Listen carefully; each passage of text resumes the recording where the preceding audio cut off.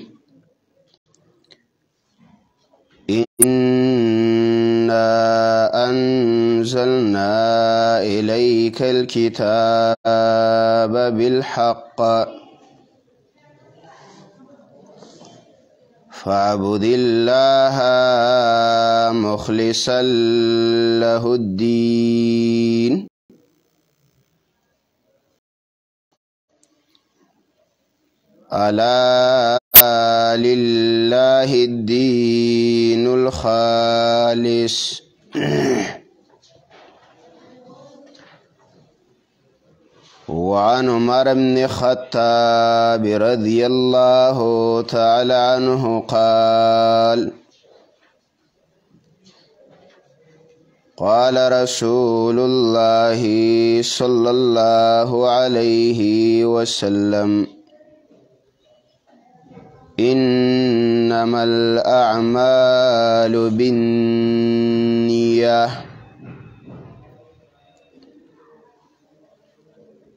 د سورة زمر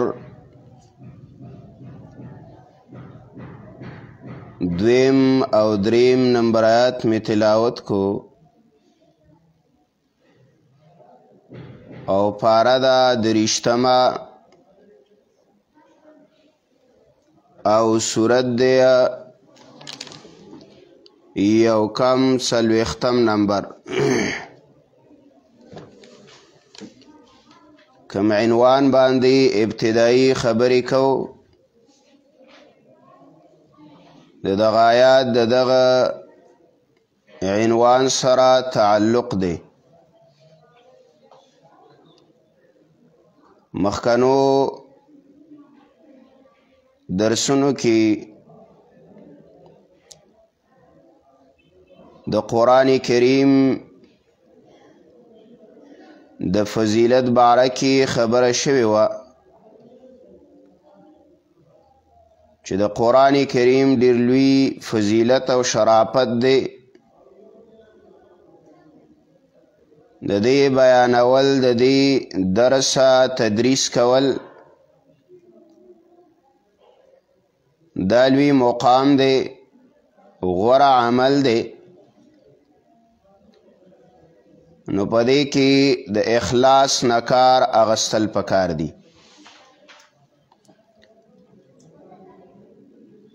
نو نننې عنوان اولنې د باس دا د اخلاص دی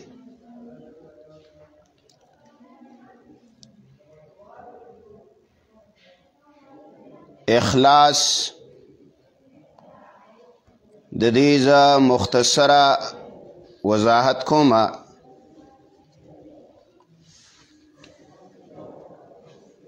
په عربیت کې دا الفاظ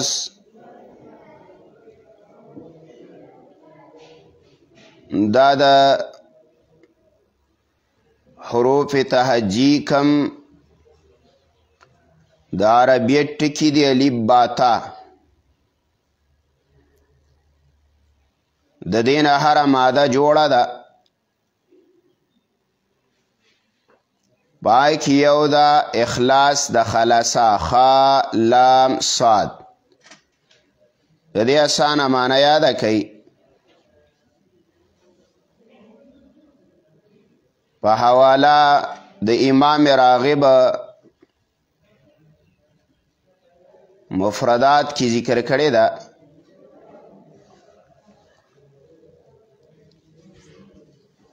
اخلاص ستوي خلاصا هغه وی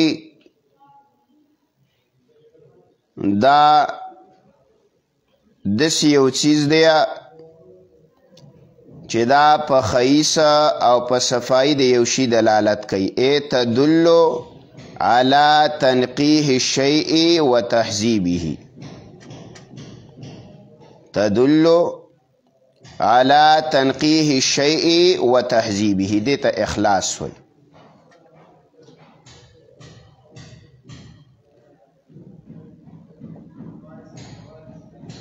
بل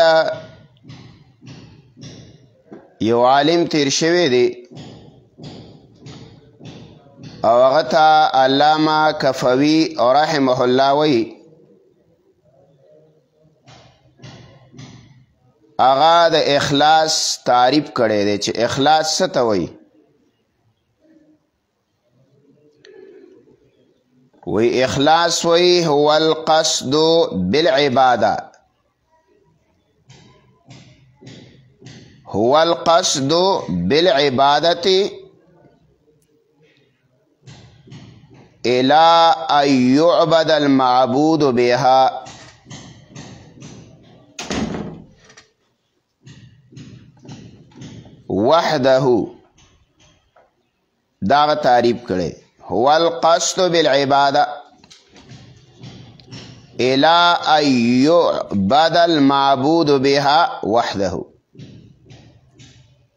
معنی دا ده چې قصد عبادت د الله او کی یوازې دته اخلاص وي صرف د الله د فار عبادت وکي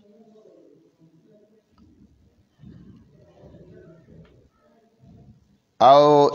علامه جرجانی رحمه الله د اخلاص تعریف کوي وی الله تطلب لعملک شاهدا غیر الله الله تطلب لعملک شاهدا غیر الله د الله نه ما سوا د په عمل څو گوا جوړ نکی دته اخلاص چې د الله نه ما سوا د فعمل باندې څوک غوا جوړ نه کی بس یو الله غوا جوړ کپا خپل عمل باندې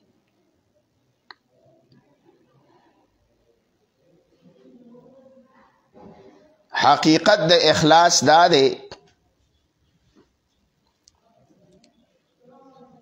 چې د الله نه ما سوا د ټولو معبودانو نه براءت وکړي دې ته حقیقت الاخلاص وایي چې د الله نه ما سوا التبری عن کل ما دون الله بایکاټ وکړه د الله نه ما سوا د ټولو معبودانو نه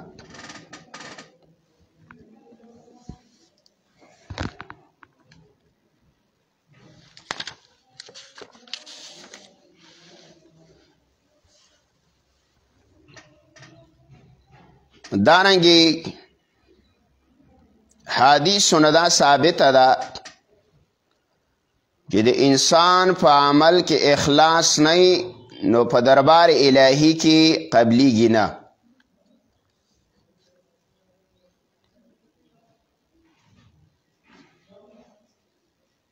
رسول الله صلی الله علیه وسلم فرمایي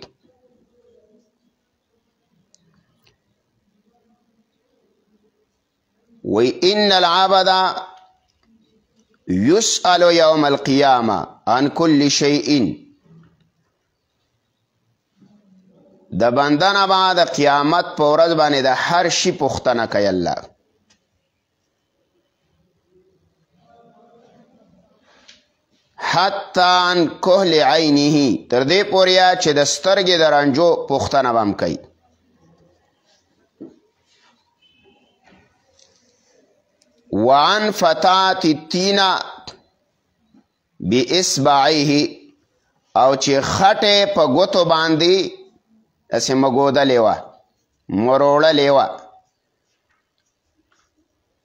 وان لمسه ثوب اخیه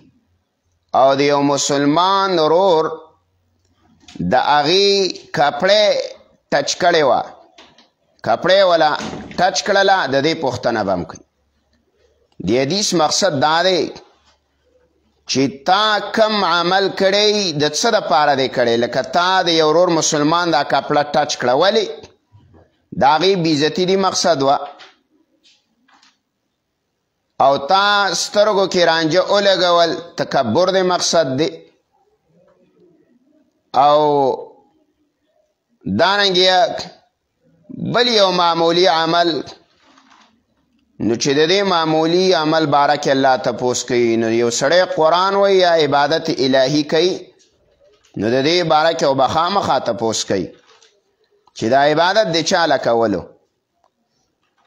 نو عمل کې اخلاص ډیر ضروری دی ګوره دیو جنا یو حدیث کې راځي رسول الله صلی الله علیه وسلم فرمایي و ایمان تطیب لله چا چې خوشبي ولګوله د الله د پاره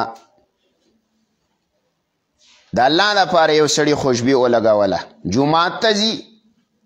جمعې مانځله ځي درس تدریس له راځي ځان یې پاکو خوشبي ولګوله قرآن ته کینمه وایي من تطیب لله جا یوم القیامه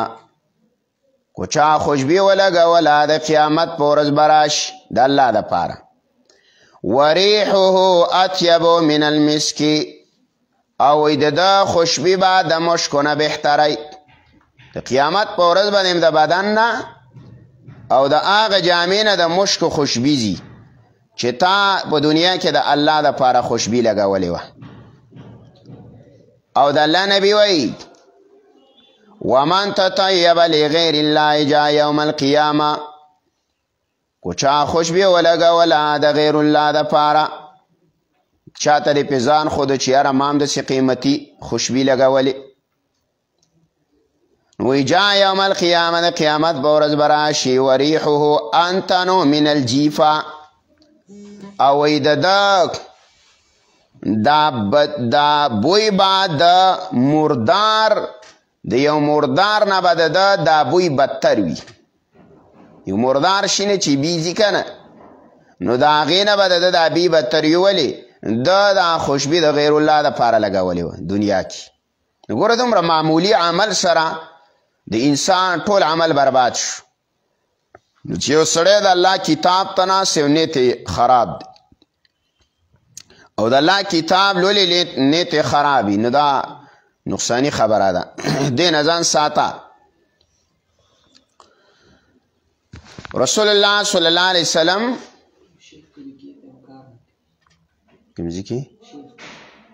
وی تا ته به دغه دا فریکوینسي وی وخوځوه 93 پوره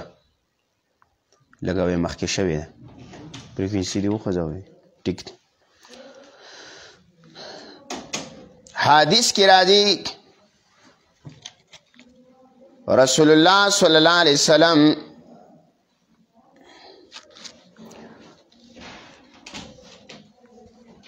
فرمای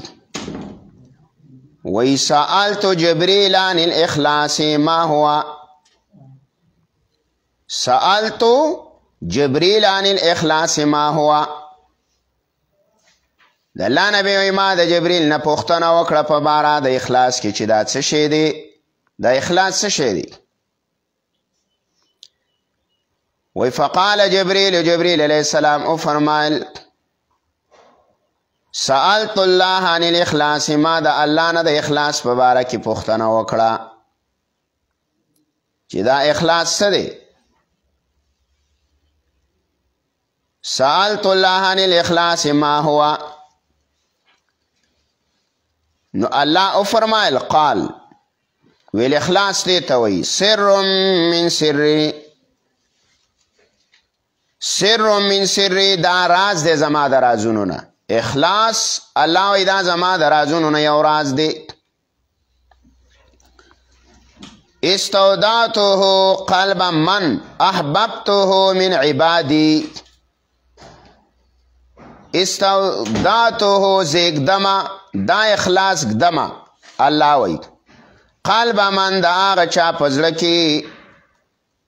احببته من عبادی چې زما د کم بندگانو سره مینا ده د کم بنده سره زما محبتي الله وي د هغه زړه کې اخلاص کړم نو اخلاص دا لوی عمل دی ګوره دی جو جنا قاضی عیاض رحمه الله وی قاضی عیاض رحم الله وی و اجماع کړی دا علماو په دې خبره باندې چې ان الاخلاص فی طاعت ترک الرياء اخلاص په عمل کې چره پر خوستل دریا کارای چې تار یا کاری نه کوله عمل دې چاته نه خودلو بس معلومه دا شولا چې دا عمل دې د اخلاص دی کو عمل باندې چرته چاته ځان خې نو بیا عمل برباد دی فوزیل ابن عیاض رحمه الله وی فضیل ابن عیاض رحمه الله وی ترک العمل لاجل الناس ترک العمل لاجل الناس ریاء د چا د وجنه عمل پر خوستل داریا کاری ده دا اوس یو سړی د مخلوق د وجه نه عمل پریدي او دا ریا ده اوس ته وایي چې یاره ما ته خلک به وایي چې تلاوت کوي یا به وایي چې مونځ کوي نه کومه نو وایي ترک العمل لاجل الناس ریاء عمل پر خوصله د خلکو د وجه نه ریاکاري ده وی والعمل لاجلهم شرکون او عمل کول د چا د وجه نه شرک دی چې د چا د وجه نه څوک عمل وکړي او وایي چې یاره ورېږه دا پلانې مې ویني چې زه مونځ کومه نو شرک دی وکړو او ول اخلاص الخلاص من هذین و اخلاص دې ته وای چې د دوانو نه خلاصي چې نه د چا د وجه نه عمل پرې دی او نه د چا د وجه نه عمل کې بس دې ته اخلاص مدارج السالکین کې علامه ابن قیم رحمه الله د فضیل ابن عیاض دا قول ذکر کړی دی قران کریم کې ګورا تقریبا دوی شیاطونه په اخلاص راغلي دویش آیاتونه په قران کریم کې مستقل په اخلاص باندې او په دې عنوان باندې الله ذکر کړي چې عمل کې ګوره اخلاص پیدا کړي کله د توحید مسله کې وایي کله نور عباداتو کې وې اخلاص پیدا ک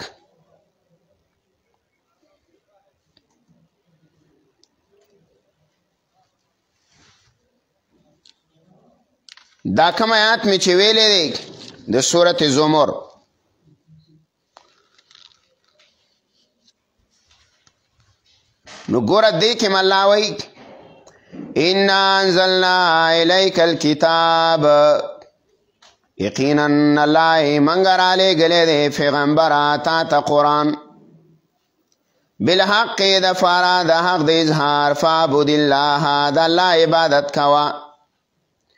مخلصا له الدین په داسې حال کې چې خالص کې الله لرا بلنا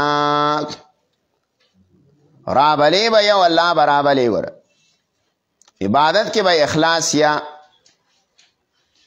وګوره دا دین الله دا بلنه صرف د یو الله ده الا لله الدین الخالص اول او دویمات دارنګ یا د اخلاص باره کې الله بار بار حکم کوي سورت عراف وګورئ یو کم دیرشتم سورت عراف آیات دی یو کم دیشتم نمبر او پارا دا اتما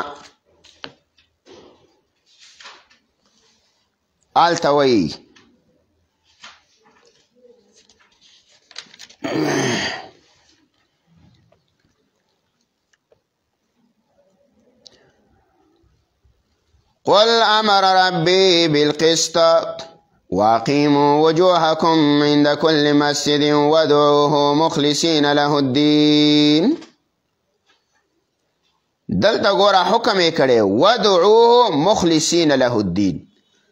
دا لاره وبلئ د دې الله عبادت وکیا ګوره په عبادت کې او بلنه کې به الله ویا صرف ما را بلئ مخلصین له دین خالص به کوي دا عبادت الله له سورت لقمان سورت لقمان آیات دې دو دشتم نمبر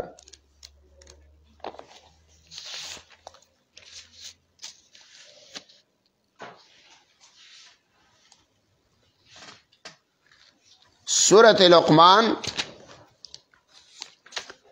آیات دے دوا دیشتم نمبرات دی او پارا دا یوشتمه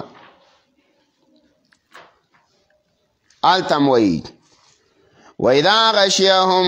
موج كالذلل دعوا الله مخلصين له الدين دا حال د مشرک ذکر کوي چې کله به دی ولره چاپو دا راګیر کړله نو بیا به دا الله دی برابلو الله لرا مخلصین له الدین په داسې حال کې چې خالص کوله به الله له بلنه دارنګه سورت یونس دویشتم نمبر آیات کی سورت یونس دویشتم آیات یولسم پارا کې دی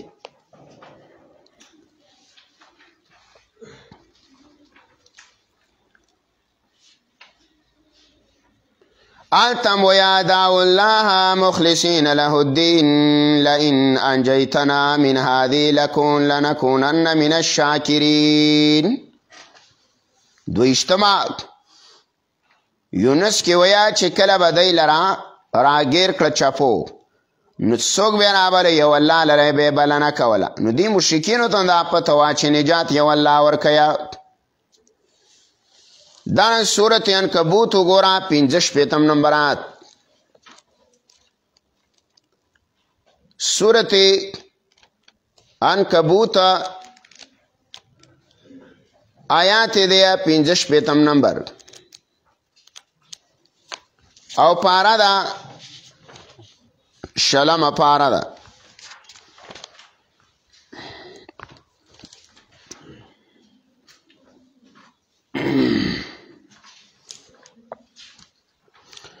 التوي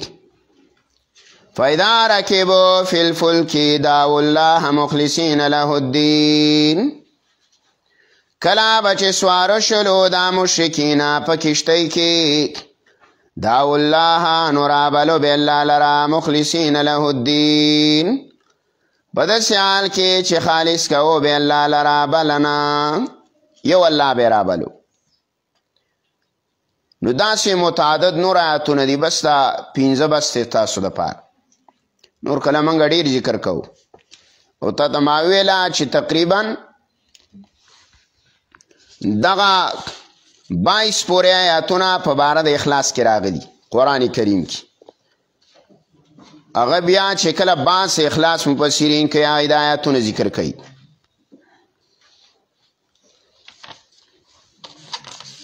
حدیث کې را دي حدیث کې رسول الله صلی الله علیه وسلم فرمایي ګوره دا محدثین خپل کتابونو کې دا حدیث په ابتدا کې وروړي کله چې محدثین د خپل کتاب ابتدا کوي نای په ابتدا کې دا حدیث عمر وروړي دا حدیث غریب دی غریب غریب معنی دا نه چې کور یې نشته او جامې وسنئ د غریب معنی دا نه چې دا صرف په صحابو کې د عمر نه نقل دی د بل چا نه نه دی رسول الله صلی الله علیه وسلم نه صرف عمر را نقل کړي بل صحابي ته نه دی ته حدیث غریب یو صحابي په یو سند سره را نقل کی او دې حدیث کې ډېر علم پروت دی امام مالک رحم الله وی وی دا حدیث د دین جرړه ده اهم جرړه ده حدیث ته انما الاعمال بالنیات او دې د محدثین حدیث سنیه او حدیث عمر هم وی وی دا جرړه ده د عبادت جرړه امام ابو حنیفه رحم الله وی وی ټول دینا په دریو حدیثو کې بند دی او وی ټول ژوند د مؤمنه په دریو حدیثو باندې دارو مدار دی پاکی یو دا انما الاعمال بالنیت حدیث دی بعض علما پنځه روایت ذکر کوي چې د انسان ټول ژوند پنځه روایتو کې بند دی پاک یو سره دا حدیث ته انما الاعمال بالنیه دا بالنیات د جمع سره هم را نقل دی او مفرد هم را نقل دی د حدیث باندې ګور ځان پې کوي د حدیث کې د الله نبی څه وایي عمر رضی الله تعالی فرمایي چې رسول الله فرمایل انما الاعمال بالنیه دا مال دارو مدار پنیت باندې دی پنیت ام دارو مدار دی اوس ګوره موږ خو د دې په تفصیل کې نوزو زکا خو موږ به ته دومره وضاحت وکړو چې زمونږ دا درس سره څومره تعلق لري او عوامو ته د هغې نه پیدا وشي یو ګوره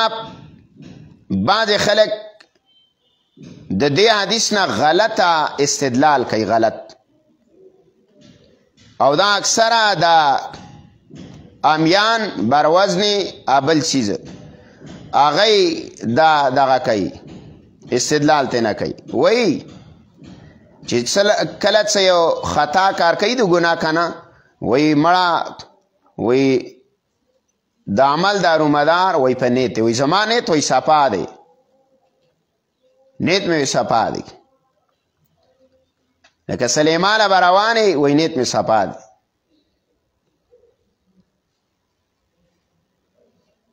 نو دا خو نه ده چې یاره ګندې کې سلیما ته نه وتې نیت مې صفا دی ولې وای ما ورته بد کتل بد بد مې ورته کتل دی د اعمالو کې دا الف لام دی الاعمال دا الف لام عهدی دی د دینه مراد نیک عمل دی د دینه مراد هر عمل نه دی مانت سنا انما الاعمال بالنیات دا مال او دارو مدارا په نیت باندې دی اکم مالا دا مال صالحه دا مال صالحه یادی د دې دارو مدار په نیت باندې او چې ته ګناه کې نه هغه کې نه ته ضرورت دی او ګناه کې او یو کار دی هغه کې یو په دې کې الف لام محدودی دا بیات ساتي بل خبره دا وره چې د نیت نه مراد آیا نیت لسانی دی کو قلبی اعتبار د کم نیت دی د جبه نیت نه اعتبار دی کو نه د زړه نیت له اعتبار دی نو دا خبره هم ښه قوي یاده که چې ګوره د نیت نه مراد نیت قلبي دی قصد چې ورته وایي د زړه نیت مراد دی او د دې مثال باندې ځان پیاکا وس یو سړی دی او کوي د ماسپخی ما څلور رکاته فرض مونږ کوي نو دا په دې خوله باندې ویله چې زه څلور رکاته د مازیګر فرض مونځ کوم او ولاړلې ماسپښیم ته نو آیا دا مونځ کیږي که نه نو ته تمام امت په نیز باندې دا مونځ کیږي په خوله دې دا غلط شي ځکه چې دا په زړه کې اصل کې اراده د ماسپیخیم ده خو د دنه په جوه باندې صادر کلام د خلی نه چې کومه د جبې نه خبره راوځي هغه د مازیګر راوځي نو د جبې خبرې له اعتبار نشته د جبې نیت له اعتبار نشته نو